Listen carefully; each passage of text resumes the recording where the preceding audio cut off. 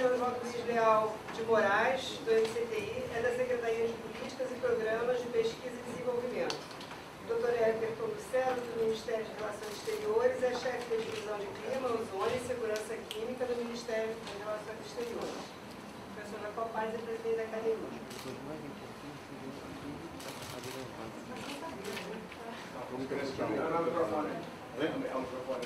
É ao vivo? Sim, sem microfone. É, sem microfone. Tem um microfone ali grudadinho. Tem que falar alto. Isso. Então, pessoal, já- só, só para informar, esse computador aqui, a gente está não vai a gente está transmitindo. Pode deixar, pode deixar na mesa que já estão gravando. Está gravando e a gente está transmitindo ao vivo pela internet. Tá? Tem um link para jornalistas de outros lugares que estão conectados e estão assistindo. E depois eles vão fazer perguntas para os palestrantes. Então, a Academia Brasileira de Ciências tem ah, o dever de acompanhar de perto os estudos né, clássicos, agora são clássicos, ah, do IPCC sobre mudanças climáticas, encomendados pelas Nações Unidas por unanimidade. Então, esse é um segundo estudo Uh, aqui se, se põe como WG2, né, Working Group, deve ser dois, deve ter um terceiro. Então, isso é uma segunda etapa. Então, acompanhar de perto uh, esses estudos uh, é muito importante para toda a nossa comunidade, não só acadêmica, no caso da ABC, mas para os cientistas, mas também da população em geral. Então, isso aqui, ah, de fato, nós estamos ah, pedindo a vocês que nos ajudem nesse trabalho. Vocês são fundamentais para essa comunicação com a população. É muito mais fácil falar entre cientistas que têm a mesma linguagem, podem concordar, discordar, mas enfim, entendem, entendem-se em geral muito bem mas eh, comunicar para a população é uma tarefa importantíssima, muito nobre de vocês, que nós respe- respeitamos muito. E aí é que vai eh, ocorrer uma possível mudança, inclusive a questão de influenciar quem faz as políticas dos estados, dos municípios, da nação em geral e das nações né, mais amplamente. Então, o papel do jornalismo aqui é, outra vez, absolutamente crítico. Nós pedimos a vocês que nos ajudem. E a ABC ah, tem a honra e o dever de apresentar esse novo sumário para vocês. Então, eu queria mencionar rapidamente os ah, brasileiros que ah, fizeram parte desse grupo 2, que preparou esse sumário. O José Marengo, está por aí, nosso companheiro de anos, eh, companheiro mesmo, aliado firme, membro, membro da casa. Carlos Nobre, outro eh, destaque, também membro da casa. A Carolina eh, Buller Schmidt, Dubé. Caramba, vai para lá e para cá. Um pouco de inglês, um pouco de francês, é da COP, pesquisadora eh, sênior do Centro de Estudos Integrados sobre Meio Ambiente e Mudanças eh, Climáticas, Centro Clima da COP, Marcos Silveira Topridge, da Universidade de São Paulo, coordenador do Instituto Nacional de Ciência e Tecnologia do bioetanol e MCT eh, do bioetanol, também nosso conhecido, o Fábio, não sei como pronuncia isso aqui, Scarano, o acento é mais no meio, Scarano, o FRJ, eh, o Geometo, esquerda, NIMPE, a Maria Assunção Paulo da Silva Dias, também muito conhecida nossa, da USP, e o Daniel Netstadt, do Instituto de Pesquisa Ambiental da Amazônia. Então tem aí um quadro completo para vocês. E o que, que eu faço agora? Vou Convido passar. vocês a uma assumirem o, o- o dever de, e a honra de Jovem, de difundir esse, difundir esse cenário. Então, por favor. Ah, boa tarde a todos e a todas. Ah, o Ministério de Ciência e Tecnologia ah, reconhece não apenas a necessidade de incrementar o conhecimento das ciências climáticas, mas também a necessidade de apoiar, ah, não apenas com boas intenções, mas apoiar com financiamento, ah, o avanço desse conhecimento. Ah, existem, eu diria hoje, dois programas ah, já consolidados no âmbito do MCT, que é o programa da Rede Clima, ah, além dos institutos nacionais, né, mas o programa da Rede Clima e o painel brasileiro de mudanças climáticas. O programa da Rede Clima já existe há mais de cinco anos e o painel brasileiro de mudanças climáticas fez o seu primeiro relatório o ano passado. E existe atualmente uma outra iniciativa que nós consideramos extremamente necessária para a consolidação do Brasil como um país autônomo na geração de cenários climáticos, que é o desenvolvimento do modelo brasileiro do sistema terrestre. Ah, porque nessa ciência de gerar previsões climáticas, o Brasil, até recentemente, estava fazendo as suas projeções de cenários de mudanças climáticas usando modelos regionais a partir de um downscale de modelos globais. Esses modelos globais de mudanças climáticas, existem alguns países no mundo apenas que detêm a tecnologia e o conhecimento para gerar as previsões de cenários de mudanças climáticas em níveis globais.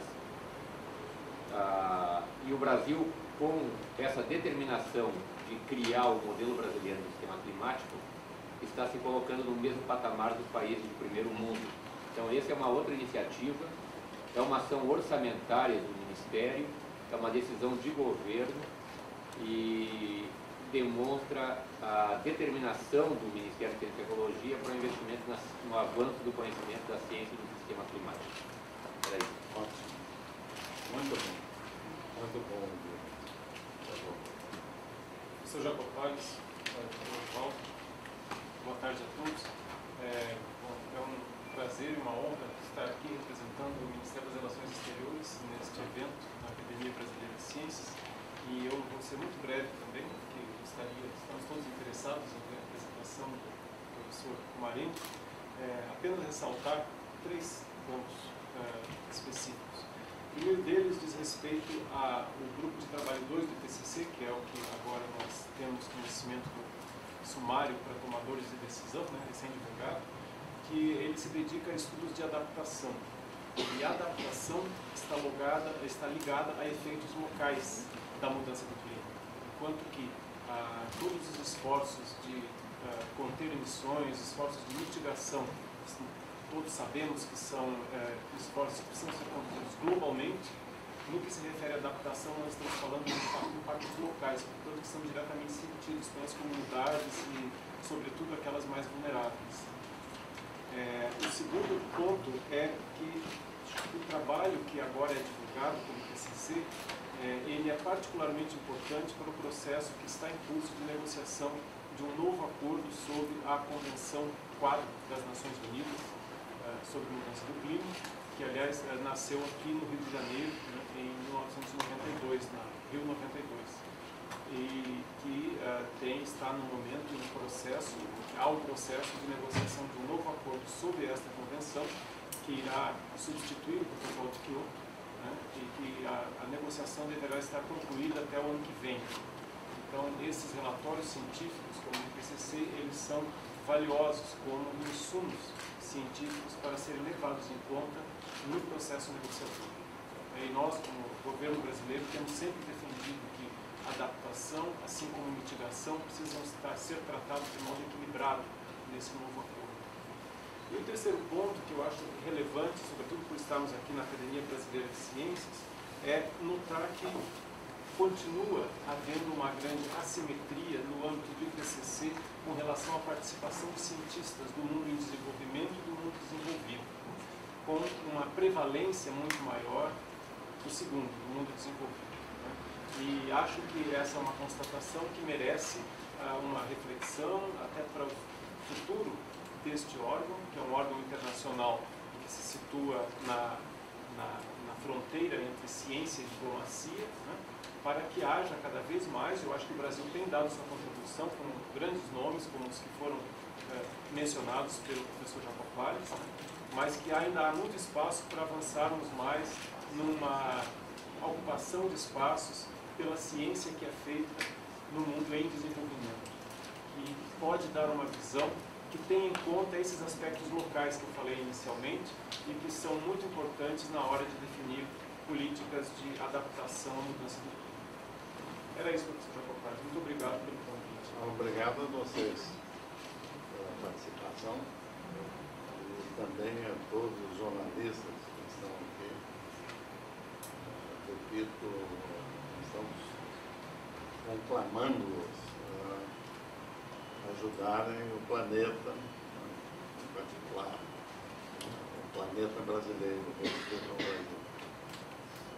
Então, Passamos a bola. Por favor, passamos a bola para o professor Mariano. Só vou, enquanto a gente faz essa troca, eu vou botar mais umas duas cadeirinhas para você sentar. Mas com o sumário do que eu falei no começo. Sumário do grupo do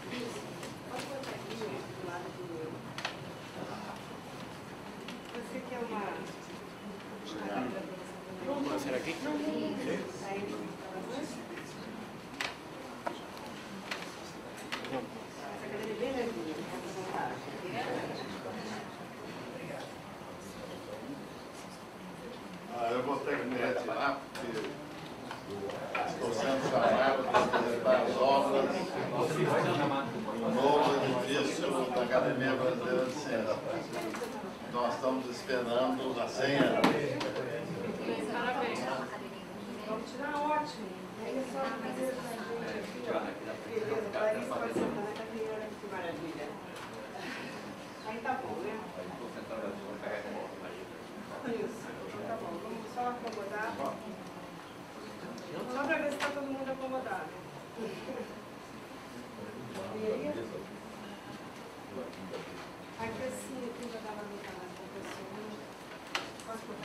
Está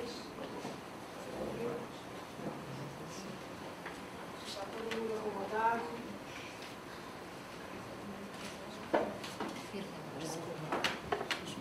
Então, eu gostaria só, antes de o professor Mariano começar, queria apresentar a professora Carolina Dubois, que está presente aqui.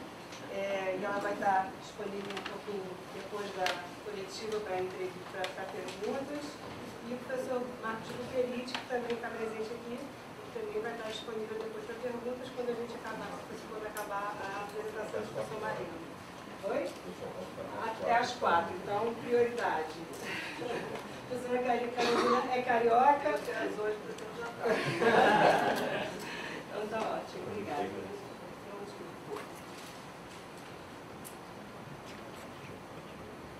Posso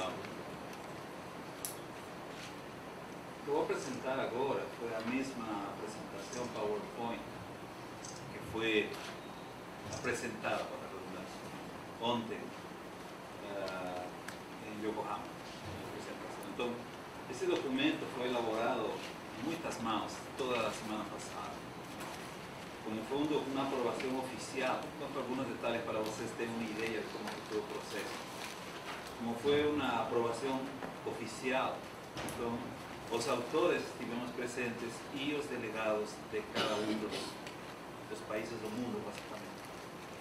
Então, como vocês percebem, este documento foi elaborado em um linguajar que seja de entendimento dos tomadores de decisão. Então, teve países que realmente insistiam muito em detalhes coisas. Foi basicamente um trabalho eh, que ia até as duas, três da manhã de cada dia. Com o fuso horário, então não percebia com tanta Coca-Cola e cafeína no, na sangue, então deu, deu para aguentar. Mas esse documento foi elaborado ontem e apresentado ontem. E re, recebi esse documento, não teve tempo de traduzir para português, então todo está em inglês. Mas como documento oficial, original, eh, global, eu coloquei algumas coisas do capítulo da América Latina, da América Central e América do Sul, para poder um pouco ver os, os impactos no caso do Brasil. Mas un- uma das coisas importantes, realmente, é o, o foco do segundo relatório impactos, adaptação e vulnerabilidade. O primeiro, do grupo 1, foi na parte já da mudança climática mesmo. Como que vai ser o aumento da temperatura, a mudança das chuvas, se o, o causante da mudança climática é a natural e também contribuição humana bastante importante, mas neste grupo 2, o que se toca é impacto, adaptação e vulnerabilidade, ou seja, quem são vulneráveis, que impactos poderiam se esperar em que região do mundo, ah, que área, que setor poderia ser, poderia ser setor saúde, ciências humanas, ciências da parte de, de geográfica poderia ser, por exemplo, a área dos monções, nível do mar, e vulnerabilidade. E um dos termos que aqui aparece muito claro, talvez mais claro que em 2007, o quarto relatório, é a palavra risco. Os riscos maiores de impacto na mudança climática. E, obviamente, como um, ah, o foco é um pouco diferente, então, na parte, no grupo 1, a maior parte dos cientistas é cientistas das ciências físicas. E hoje, no grupo 2, tinha cientistas das ciências físicas, mas também das ciências sociais, das ciências aplicadas. Então, esse talvez seja é o mais importante. Então, quais são, não sei se dá para desligar algumas luzes, porque perde um pouco a arte que a, que a unidade de, de técnica Support Uni eles elaboraram. Ah, as figuras do fundo são umas, umas fotografias bastante legais. Não? Esse é o caso da, da Filipinas, eh, depois de, um, de uma Manila, depois de uma tempestade, não? e todo isso está alagado aí. Mas ah, as mensagens principais deste sumário é que a mudança climática já está acontecendo e já está afetando as populações. Ou seja, vocês não precisam esperar 20, 30 ou 40 anos para poder ver secas, enchentes, ondas de calor, ondas de frio, furacões intensos e outro tipo de fenômenos. Ah, obviamente, o maior o aquecimento, os riscos vão a ser maiores e também a possibilidade de uma mudança irreversível do clima. Isso é porque nós queremos evitar essa mudança irreversível, por exemplo, que uma espécie possa sumir completamente, ou que a floresta, por exemplo, amazônica possa virar outro tipo de vegetação potencialmente. Não esse tipo de coisas é o que queremos. E, obviamente, a terceira, eh, formas inclusivas e efectivas de adaptação podem construir uma sociedade mais resiliente ah, no curto prazo. Essa palavra rica, aqui, isso foi motivo de discussão, porque os países em desenvolvimento diziam, não, não queremos ser ricos, queremos ser resilientes. não? Mas, em inglês, a palavra rica nem sempre significa riqueza. Para mim significa, para eles dizem que não, mas de qualquer forma, o que é importante é a palavra resiliência. Risco e resiliência são dois términos que apareceram bastante muitas vezes. Então, essas são as mensagens principais em termos de das boas intenções do, do grupo. Agora, quais são as novidades em relação a 2007? Em 2007 foi publicado o quarto relatório, já são quase sete anos. Então, comparado com outros relatórios, tenemos una- un mayor y mejor conocimiento la parte técnica y socioeconómica en términos del mayor número de publicaciones. Más de 100%, 200% de estudios que fueron publicados, especialmente en áreas ah, como África América Latina. Y, y el grupo 2 fue muy enfático en decir que la literatura revisada no fue solamente en inglés, revisaron en español, en árabe, en chinés, en muchas otras lenguas. Estudios obviamente publicados en revistas internacionales y que tengan todo el rigor científico propuesto. Entonces, ah, ah, y la literatura, como falei, ¿no? en diferentes tópicos. O sea, ya existen estudios publicados sobre adaptación y eh, estudios regionales que tienen que ver con ecosistemas e o AR5 contém muito más detalle regional que lo que aparecía antes. O sea, en el cuarto relatorio, algunas áreas no eran tan claras en términos de estudios, como América Central, por ejemplo, o partes de África y sudeste de Asia. Ahora, eh, esos gaps, esas lacunas ya fueron completas con un mayor número de estudios. ¿Y cuál fue el aspecto más preocupante? La mensaje que si a gente no reduce la emisión de gases de efecto estufa, nos podemos alcanzar puntos de no retorno que de alguna forma pueden producir daños irreversibles. Tal vez los puntos de no retorno que fueron discutidos más no, no quinto sumario tomado decisiones fue a tundra, que es aquel bioma, ecosistema en el norte de Asia, y Amazonia. En caso que la tundra o solo congelado, permafrost, descongele todo ese metano, esos millones de toneladas de metano pueden ir para la atmósfera acrecentando la concentración de gases de efecto estufa y obviamente el aquecimiento global. Y el caso de la Amazonia también, que si la Amazonia puede mudar, puede colapsar, entonces eso va a tener un impacto no solamente en la parte climática, más en la parte ambiental, socioeconómica y en general. Todo es una catástrofe básicamente. Ahora, a, a visión do grupo 2 foi justamente essa. O sea, no grupo 1 se discutía o aspecto físico a variabilidade natural do clima, a contribuição antrópica do clima, a condição antrópica na mudança climática. Mas já no grupo 2 entram outros fatores, como são os fatores que nada têm que ver com o clima, mas que estão casados com o clima quando chegam a hora de impactos, como são o desenvolvimento socioeconômico, as, as estratégias de adaptação, mitigação e governança. Os dois vão juntos. Por quê?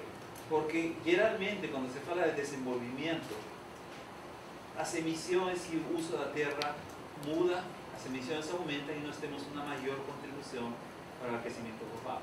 E em caso dos impactos, podemos ter impactos associados aos extremos de clima, como podemos ter impactos associados, por exemplo, a factores que não são climáticos.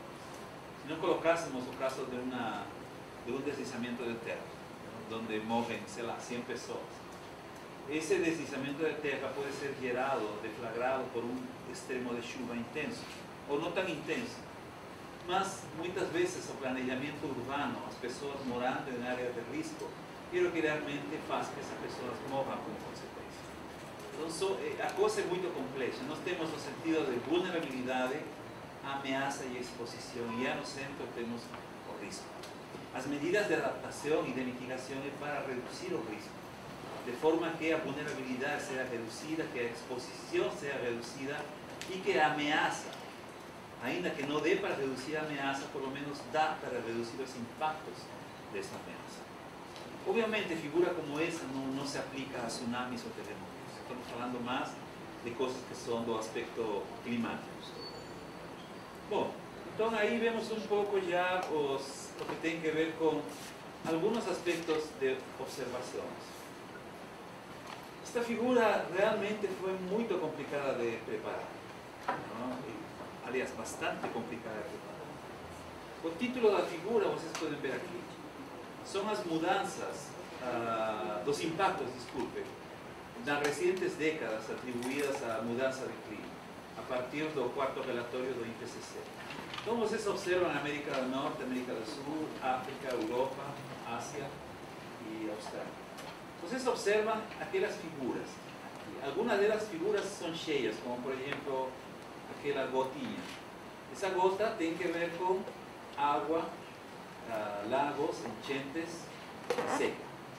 Si esa gota está cheia, eso, en cierta forma, o a mudança climática ayudó muito a ese, a ese impacto.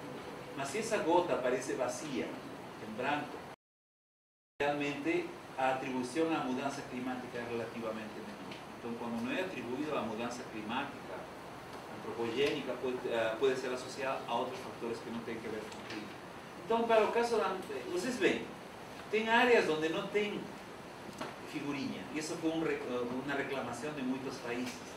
Na verdade, o que o artista fez aqui, ele colocou os impactos em alguma área. Não quer dizer, por exemplo, que aqui, na parte de, de, dos Estados Unidos, não tem impacto. Simplesmente, o artista não colocou aquele ícone aí. E aí temos, por exemplo, aqui, a estrelinha, é a parte de eh, geleiras, neve, a gotinha é água, aquilo que aparece, sei que figura é, é erosão costeira, as árvores... ¿ah? Ah, un farol, acho que sí, erosión costera elevación a nivel do mar. Aqueles árvores aqui, que parecem mais pinos de latitudes médias, ah, florestas, eh, incêndios e pesca. Produção agrícola, esse tratorcinho. E aqui, quando aparece uma família, isso tem que ver com saúde, estilo de vida outros, ah, e outros eh, factores econômicos. Então vocês veem que em todo lugar, e aqui aparecem algumas linhas, quando aparece uma linha é a confiança daquela atribuição baixa, quando aparecem cinco linhas, essa confiança da atribuição é alta. Essa confiança é baseada no número de estudos publicados. O sea, muitos estudos, por exemplo, documentam bastante claramente o derretimento das geleiras nos Andes, mas poucos estudos provam, eh, em alguns casos, a associação de elevação no nível do mar em algumas áreas, como, como caso de, da América Central, do Caribe. Então, ah, a gente pode ir em detalhe a todo isso, mas ah, o que eles prepararam aqui foi um zoom para cada região. Por exemplo, para América do Norte. Aí vocês podem observar quais são os impactos que eles têm mais na parte de derretimento, incêndios florestais maiores e também ah, na parte de mudanças na floresta. E dependendo da região também. Aqui são as comunidades afetadas no Ártico, que isso é bastante discutido na parte indígena. Depois, já para América do Sul, os detalhes que nós temos vão desde a pesca na América Central, aqui na parte de disponibilidade de água na Amazônia e na costa oeste da América do Sul, saúde nesta região da Bolívia, na parte do sudeste da América do Sul, a fator água e também a mudança do uso da terra e a produção de alimentos. E no Antártico nós temos também na latitude mais sul das florestas. Existem, obviamente, áreas onde tem mais estudos e menos estudos. Então, isso, isso vai acompanhado de uma tabela. Lembrem que, que o sumário é um documento de 30 páginas, que é um resumo de um documento de mil páginas. Esse documento de mil páginas, cada capítulo tem seus detalhes. Existe um capítulo da América Central e América do Sul, onde todos estes detalhes são ah, aclarados. Aqui nós colocamos algumas coisas, simplesmente como um exemplo. E já depois o zoom que dá para a África e para a Ásia e Europa, e também para a Austrália, Australásia, com toda a parte do sudeste da Ásia com Austrália. Então, em todos vocês podem observar maiormente na parte água, que basicamente tem que ver com a segurança alimentar.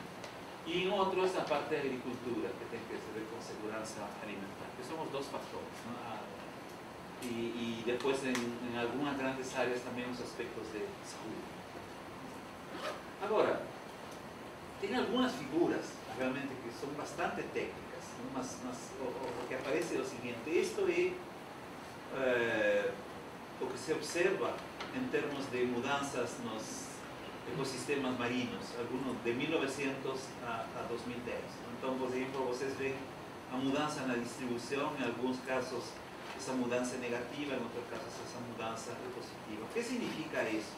Como aparece aqui, por exemplo, algumas espécies, ah, quando se apresentam águas quentes, algumas espécies migram daquela região procurando águas mais frias. Isso acontece durante o fenômeno do El Niño na costa da América do Sul. Na costa da América do Sul, a, a pesca é pesca de águas frias. Mas cuando acontece el fenómeno del niño, los peces de agua fría somen básicamente y aparecen peces de agua quente. ¿no? Y eso es claro, para algunos es bueno porque pueden comer la bosta más barata, porque la bosta normalmente carísima en Perú, por ejemplo. Mas toda anchova, la industria de peixe, baseada en peces de agua fría, no de agua quente. Entonces, y, y, los peces no son bobos también, ellos migran. ¿no? Cuando ven que algo está aconteciendo, son los primeros en percibir y van embora. Y eso obviamente en el futuro muestra que las especies van a comenzar a migrar, algunas unas más que otras. ¿no? Y a boliña sería a media y los de desvío padrón aparecen aquellas barras para cima y para abajo. Aquí obviamente, estos son basados en muchos estudios para los océanos a nivel global.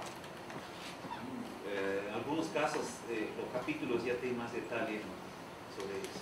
Y esto se representa, que son también de 1960 a 2013, que es lo que tense observado en términos de agricultura en regiones de latitudes medias y en regiones tropicales. Y se consideran las principales cuatro culturas, trigo, soya, arroz y milho. Y en todas ellas ustedes pueden observar, tal vez con excepción de la soya un poquillo, a reducción en la productividad, la producción realmente, donde la ah, mudanza por década. Y piensen lo siguiente, ¿no? que o trigo, arroz maíz, o milho, sorry, disculpen, es básicamente la cesta básica de la mayoría de los países en desenvolvimiento. Entonces, esto más o menos da una idea de lo que podría ser o impacto la mudanza de clima que ya está siendo observado en términos de seguridad alimentaria. Falta comida, ahí que vemos problemas. Eso es lo que es importante. Obviamente, alguien dice, no, no, nos importamos comida de otro lugar. Todo bien. No sé si otro lugar también va a estar impactado, tiene una población faminta que que alimentar. Entonces ahí ven los problemas de, de impuestos, de elevación de los costos, los precios. ¿no? Eso tiene toda una consecuencia social bastante grande. Entonces, a vulnerabilidad y exposición en todo el mundo. A adaptación ya está aconteciendo en algunas áreas. Entonces, adaptación es algo que nos vamos a, ver después en la última parte, más es algo que ya está aconteciendo. Adaptación es una forma de poder decir, por ejemplo, ok, nos vamos a, a enfrentar al clima. Por ejemplo, el fato de estar aquí, algunos de nosotros con paletó, con aire acondicionado y fuera con un calor bastante alto. Eso es adaptación. Una vez un congresista americano fueron cuestionados y dice, ah, pero ¿quién se preocupa de aquecimiento global? Yo digo aire acondicionado. Y ahí permanece. El problema es que no sabe que el aire acondicionado muchas veces es eh, generado con energía hidroeléctrica. Y si falta lluvia acaba energía hidroeléctrica. Entonces hay que ver un problema grave. Mas esa adaptación ya está aconteciendo en algunos países, en otros ainda no. Y ahí vamos a discutir después que también tengo que se llama mal adaptation, o sea, mala adaptación, adaptación errada, que al final hace más daño que ayuda.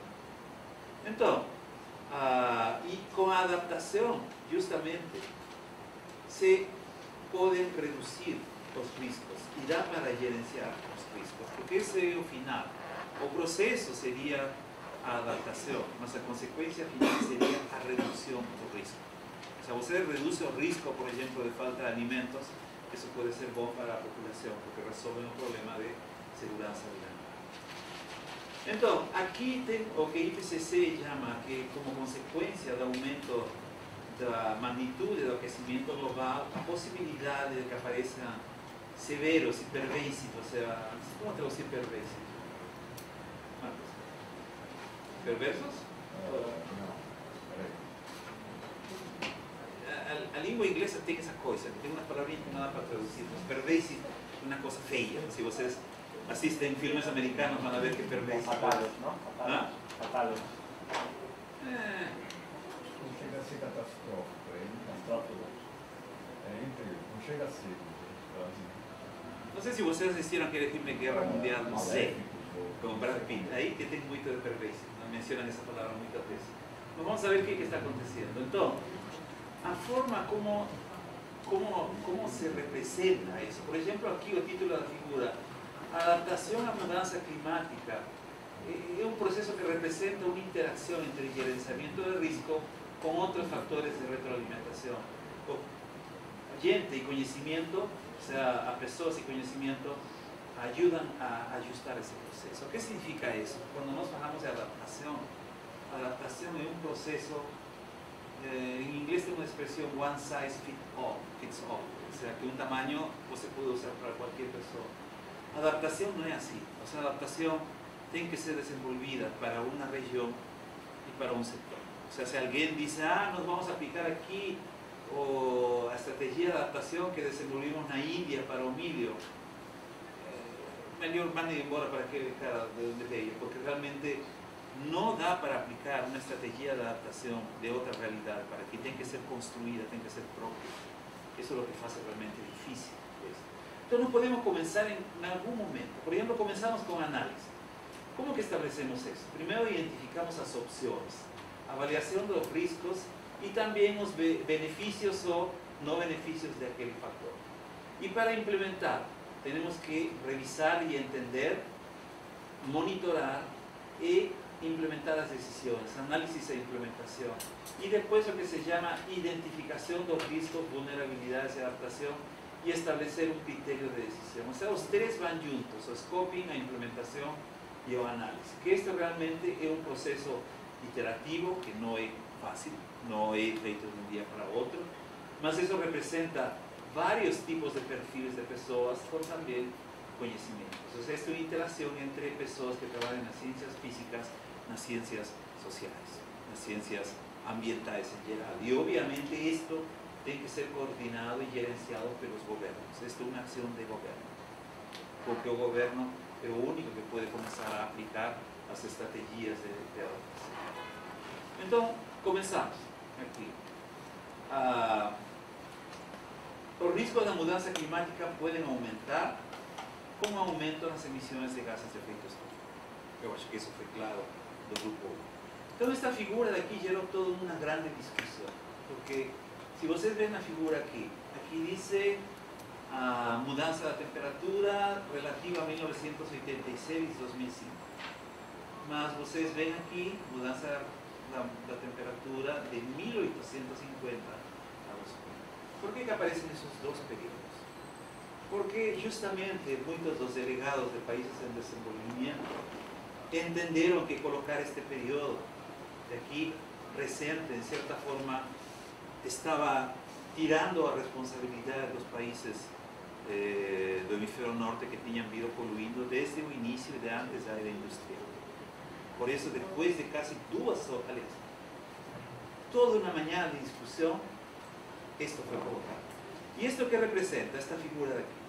Estas son las mudanzas de temperatura observadas, estas son las mudanzas de temperatura proyectadas como escenario RCP 8,5, que es el escenario más ah, ah, negativo, o sea, escenario de altas emisiones. Ahí ustedes ven que llega un aquecimiento, dependiendo de la escala, de más de 4 grados centígrados. Y aquel en azul es el escenario 2,6, aquel escenario que nos llamamos más, ah, eh, más boncinho, básicamente. Mas o que, que aparece? Vocês veem que esse cenário, a partir de 2050, se estabiliza e o aquecimento chega a quase um grau e meio projetado. Este cenário é justamente aquele que, que os políticos querem que todo mundo gostaria de ter um aquecimento menor de 2 graus, porque com um aquecimento menor de 2 graus nós podemos ter os impactos menores, os riscos menores, a vulnerabilidade menor, os esforços de adaptação seriam menores e mais baratos. Porém, para isso teria que ser basicamente zero emisiones a partir de 2050, cosa que é quase impossível. Eu não digo que chegar a um aquecimento de 2 graus seja impossível, é muito difícil. Mas chegar a um aquecimento de 4 graus é o que o modelo projeta. Simplesmente vocês veem os grandes contrastes. Agora vocês veem aqui uma escala de cores, donde aparece o amarelo é o risco moderado, risco alto en vermelho y risco muy alto en rojo. Y aquí aparecen algunos sectores. Si ustedes ven, por ejemplo, 2 grados de aquecimiento, tienen sectores como ah, sistemas únicos y amenazados, como sistemas biológicos, por ejemplo, y otros, donde aparece un cierto color amarelo menor de 2 grados, que sería un risco moderado. Más con la temperatura aumentando, pasamos a un vermelho y después pasamos a un muy vermelho. Por ejemplo, ¿qué que acontece con dentro de sistemas ameaçados, como las geleiras, las geleiras dos años? Si todo ese hielo derrete, acabó fuente de agua. No tiene forma de tirar agua das pedras, como dice. Entonces, eso ya falamos de un risco muy alto. Obviamente, si el aquecimiento fuera menor, el riesgo estaría entre moderado y alto, mas con un aquecimiento mayor nos tenemos una mayor ah, amenaza, que básicamente se aplica no solo a geleiras, se aplica a todo tipo de, de amenazas. Y realmente o esto puede tener sus consecuencias. Y vean que las palabras que aparecen con mitigación. La mitigación sería aquí cero emisiones, un aquecimiento relativamente menor. Sin mitigación, un aquecimiento mayor de 4 grados hasta el final de 2007. ¿ok? Ahora, esta figura es bastante complicada de entender. Fue baseada en una grande eh, disponibilidad de, de, de archivos publicados. Mas eso más o menos muestra a velocidad na cual las especies pueden eh, mudar, o sea, se deslocar de un lugar para otro, cuando nos tenemos varios tipos de aquecimiento. Como por ejemplo, aquí nos tenemos especies como las árboles, las ah, herbáceas, plantas, ah, los mamíferos, carnívoros, mamíferos, roedores, eh, primates, eh, plant feeding insects, ¿son plantas carnívoras? Não, insetos. Ah, ok. Insetos que comem tudo. Ah, ok. Y ah, los moluscos de agua doce. Entonces ves que en todos ellos aparecen estas, a escala 0 aquí, 20, 40, 60, 80, 100, que sería a velocidad de mudanza en kilómetros por década. Aquí ustedes ven lo que se refiere a los diferentes escenarios. En un escenario de bajas emisiones, 2,6, en un escenario de altas emisiones. Ustedes ven entonces que así que el escenario va aumentando, o sea, el escenario más quente, ustedes ven que algunas especies aumentan un poco a velocidad de deslocamiento, en algunas de ellas no, no aumenta. Entonces, ¿qué significa eso, na verdad? Ah, lo que significa básicamente, o sea, no es que como consecuencia de las mudanzas climáticas a aparecer nuevas especies. Normalmente las personas acham que va a aparecer algún bicho de dos cabezas, cuatro rabos. No, es simplemente se tiene una redistribución de las especies. Obviamente algunas de ellas no van a sobrevivir. ¿no? Entonces, yo no digo que va a tener una extinción de más, simplemente se va, es como ser humano. ¿no? Si el ser humano ve, por ejemplo, que en una área el nivel del mar subió mucho, personas migran para otras áreas. Igual aquí, eh, los bichos también perciben eso y les migran para otras áreas, procurando. ¿no? Y esto es algo relativamente nuevo, porque esto no fue tocado en un cuarto velatorio siete años atrás. Y, y, realmente aquí ya hay bastante nuevos estudios publicados sobre eso. Y aquí también algo muy interesante, potencial de pesca. En lo futuro, 2051, 60 comparado con 2001 a 2003. Entonces, cuando ustedes ven áreas en vermelho y amarelo, son áreas donde la producción de pesca puede disminuir o está proyectada para disminuir. Y aquí en azul, con la proyección de pesca, aumenta. Entonces vean que una de las conclusiones de IPCC fue que regiones más tropicales, próximas a la línea de Ecuador, serían las más afectadas. Y no solamente por lo que acontece en el continente, más también de la pesca. El Pacífico, no Atlántico y en las áreas del Océano Índico y sudeste de Asia y norte de Australia. O sea, aquí tendría pérdidas grandes en el volumen de pesca. En otras áreas podría tener un aumento. Y aquí realmente, donde son las grandes áreas de pescas, uh, eh, perdón, Antártico, también tenían un impacto negativo. No, nuevamente, este tipo de estudios recién aparecieron, son pocos estudios, tal vez el nivel de confianza no sea muy alto, más ya indica que cuando ustedes piensan en, mudanza de clima, también pueden ir pensando en mudanza en los padrones de pesca. Y muchas áreas del mundo dependen exclusivamente de pesca, especialmente las áreas más pobres, donde la pesca de tipo artesanal o sin grandes eh, tecnologías. ¿no? Entonces esas áreas son muy. Y aquí nos tenemos uh, mudanzas en algunos sectores, algunas eh, mudanzas en agricultura en general, que están siendo proyectadas. Y ahí ustedes pueden observar, por ejemplo, uh, las décadas 2010, 2029 a 2090, 2109. Donde dice A, eh, con adaptación, la escala aparece positiva. Por ejemplo, aquí con adaptación sería el 20% de aumento. No adaptación aparece a escala negativa. ¿Se acuerda? Aquí más o menos sería menos 10 a menos 25. Entonces pueden observar que con adaptación, ainda que sea menor, nos podemos tener un aumento en la producción. Mas sin adaptación, a perda da produção podría ser mayor. Y esto es feito en una media global. ¿ok? Puede ter que algunas áreas no se comportan de esa forma, mas eh, no capítulo correspondiente vocês pueden ver cuando se haya publicado ah, los impactos en los sistemas de producción cuando ya se avalie por región. Mas esta es una media global. Mas a mensaje de aquí es que con adaptación nos podemos ter aumentos que pueden llegar hasta 20% en la producción. Sin adaptación no podemos llegar a perdas de casi 80%. O sea, vamos a perder más si no, no tenemos adaptación. Y nuevamente IPCC adora hacer estas figuras complicadas. ¿no? Ellos tienen feito ese tipo de figuras, mas yo voy a explicar lo mismo, mas solamente para una, eh, el problema es que no da para ver a cores aquí muy claro con esa luz mas eu vou mostrar uma figura que é a mesma, só que com outras cores. Okay? Vejam aqui.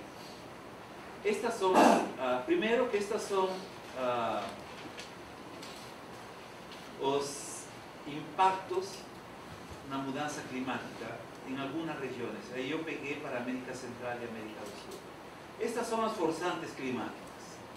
Uh, quando tenho termômetro e o termómetro con aquella coisinha aquí, extremo de temperatura, aquel sol, eh, tendencia a secar, chuva intensa cuando tenga chuva, a nube negra, precipitación cuando tenga nube blanca, cobertura de nieve, aquella coisinha de aquí, eh, ciclones tropicales, elevación a nivel del mar, acidificación del océano y carbón. Y aquí nos tenemos en esa barra, representa tres cosas. A de aquí sería, esos serían los niveles de riesgo. Bajo, meio e alto. O risco com adaptação, vocês veem o tamanho da caixa. E o risco sem, com adaptação no presente, ou seja, basicamente sem adaptação. O tamanho da caixa aumenta. Ou seja, novamente, aqui nós teríamos, como aparece aqui, very low, medium e very high. Já no caso da América Central, por exemplo aqui, América Central e América do Sul, desculpa. O risco qual seria? disponibilidad de agua en la región semiárida, derretimiento de las geleiras y impactos en América Central, enchentes urbanas y eh, de tierra. La confidencia es alta porque tiene estudios que muestran eso. ¿Cuáles serían las partes de adaptación? Integra gerenciamiento integrado de recursos de agua para poder gerenciar mejor la falta de agua en situaciones de seca, por ejemplo, y estructuras para gerenciamiento de agua en áreas urbanas, o sea, piscinones y otro tipo de formas que ayuden a evitar las enchentes. ¿Y cuáles son los factores climáticos? Son estos. Entonces pueden ver, por ejemplo, en el presente, o riesgo más o menos sin adaptación está por aquí, very low. Disculpen, con adaptación, sin adaptación, llegaría a mínimo. Para un aquecimiento de 4 grados, o riesgo estaría por aquí con adaptación sin adaptación. Es lo siguiente. Vean la evolución de aquellas figuras en la araña y la evolución de aquellas figuras en la araña con las barras. La figura más pequeña son los riscos menores con adaptación. Cuando la baja crece con aquella área eh, con, con esas líneas laranjas, el riesgo aumenta porque no tiene adaptación. Entonces, esto fue basado en varios estudios. Aquí, por ejemplo, la producción de agricultura también, eh, de crecimiento de la producción agricultura y la calidad de la agricultura en muchas áreas, con una confidencia media. ¿Cuáles son las adaptaciones y propuestas? Desenvolvimiento de nuevas variedades que pueden se adaptar a la mudanza del clima. Estas son medidas de adaptación, básicamente, eh, mitigación, disculpen. Y también algo que fue muy discutido, especialmente por aparte de los países eh, que llegaron, básicamente un bloque de los países de América Central y Bolivia, que era la inclusión de los conocimientos indígenas, porque les llamaban la madre tierra. O que era importante, no nosso capítulo, capítulo 27, nós temos incluído isso. Que realmente essa parte de conhecimentos indígenas é algo que talvez os Estados Unidos não entendam, a Europa não entenda. Diz que eles tiveram grandes eh, civilizações por lá. Mas isso também aparece. E aqui novamente nós temos. Ou seja, esta figura daqui é a figura que aparece no documento do, Samadhi for Policymakers. A figura anterior é o que foi apresentado ah, eh, aparece uma forma mais clara, não todo mundo. Vocês veem azul com adaptação e aquelas linhas em eh, preto, digamos, sem adaptação. Então, vocês observam, por exemplo, simplesmente vejam, escolhem a área, África. E realmente vocês veem que com 4 graus, basicamente, chegamos a uma forma onde, ah, com ou sem adaptação, se chega basicamente a um risco muito alto. E voltando um para trás, era na América Central. Não, aqui. Essa é a América Central e América do Sul, incluindo as pequenas Andes. Então, ah, os sectores que foram identificados como mais importantes na América do Sul é o setor água. Quando digo setor água, estou falando também das chuvas intensas, deslizamento de terra, a produção de alimentos e na parte de saúde, que é algo que realmente tem bastante importância na região eh, e que com o aumento da temperatura e mudança da chuva, isso está gerando maiores problemas de saúde.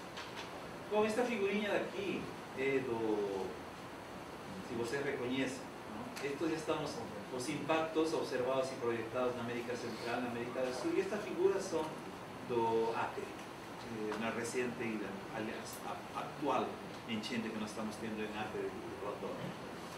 E aí, esta figura já, já mostrei aqui. Estes são, já peguei grupo 1, o que os modelos projetam. Por exemplo, aqui, estas são as mudanças de temperatura no pior cenário, 8,5, e vejam a escala de cores aqui.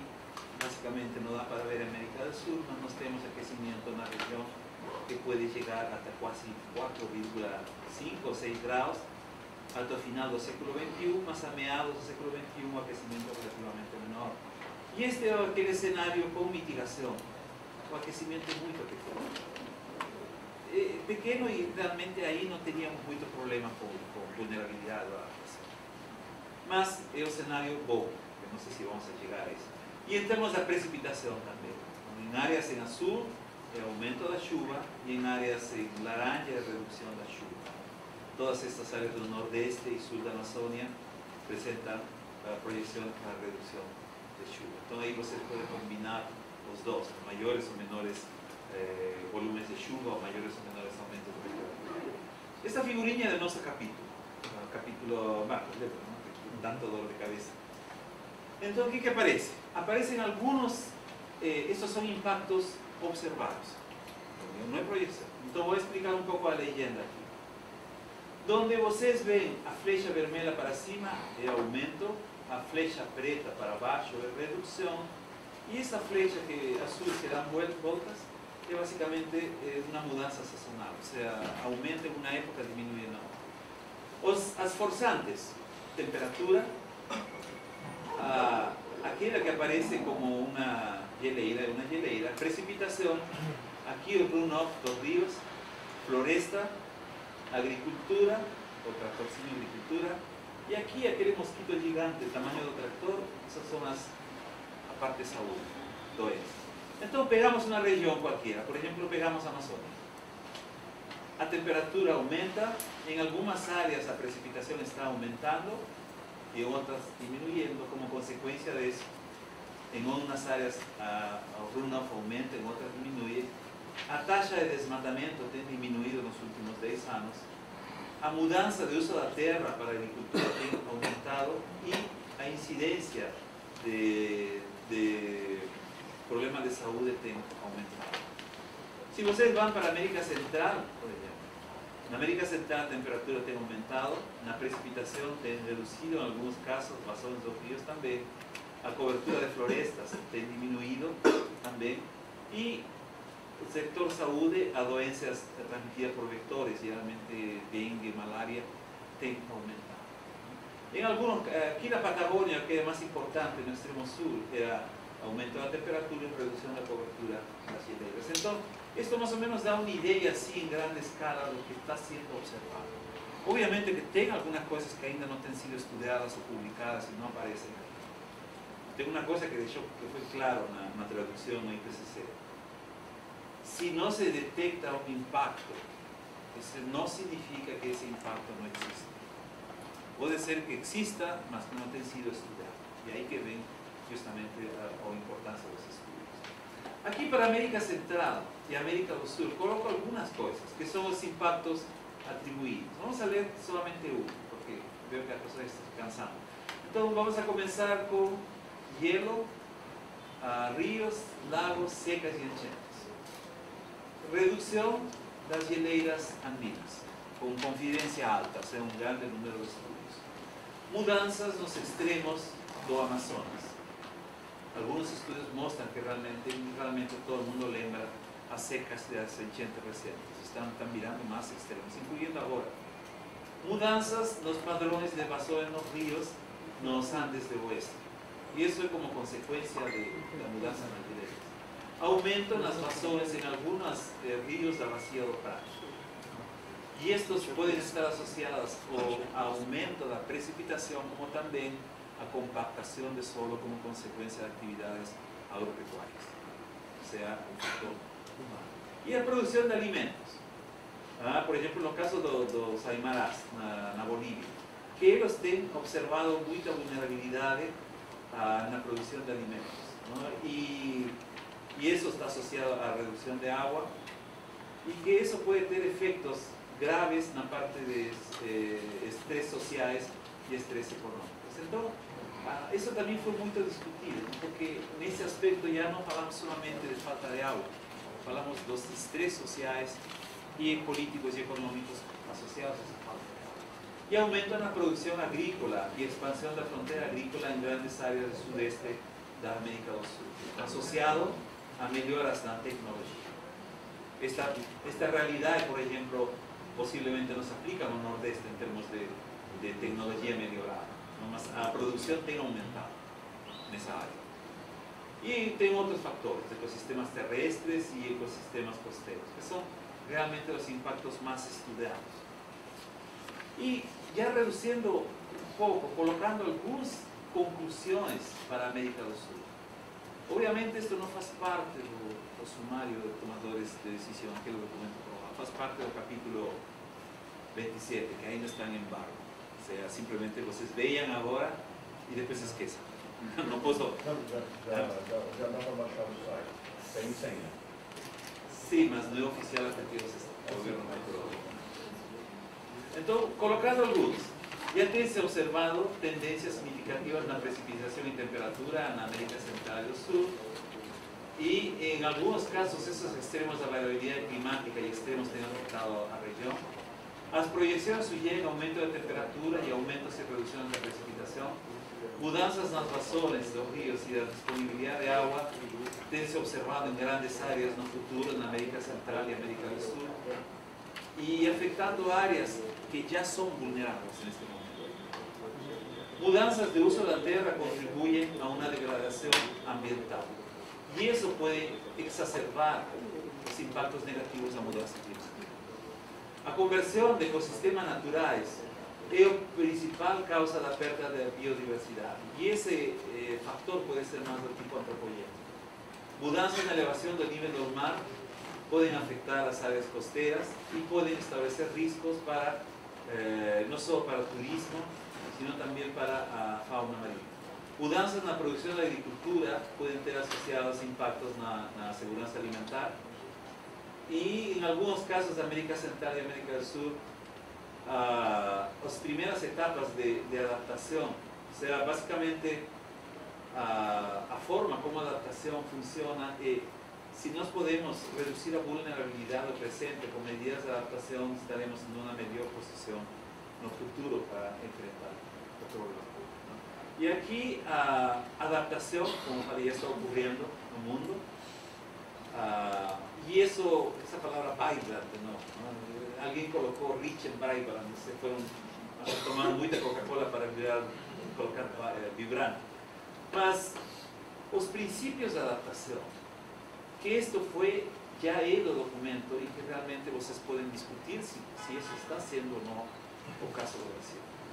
A adaptação é dependente do, do lugar e do contexto, ou seja, nós não podemos desenvolver a adaptação para uma região e um setor e aplicar isso mesmo para outra região e outro setor. E isto pode ser complementado a través de medidas, de várias medidas, de, desde os indivíduos até os governos. A primeira etapa para a adaptação para o clima do futuro é reduzir a vulnerabilidade e exposição para o clima do, para o clima do presente. E isto era algo que no momento, no Brasil, vocês percebem que não está acontecendo claramente. Na seca do Nordeste, por exemplo, as pessoas siguen sendo afetadas pela seca. E não é, digamos, que nunca aconteceu seca no Nordeste, sempre acontece. Então, isso é o que tem que ser, medidas de adaptação. Algumas medidas de adaptação no Nordeste incluem, por exemplo, a construção do sistema.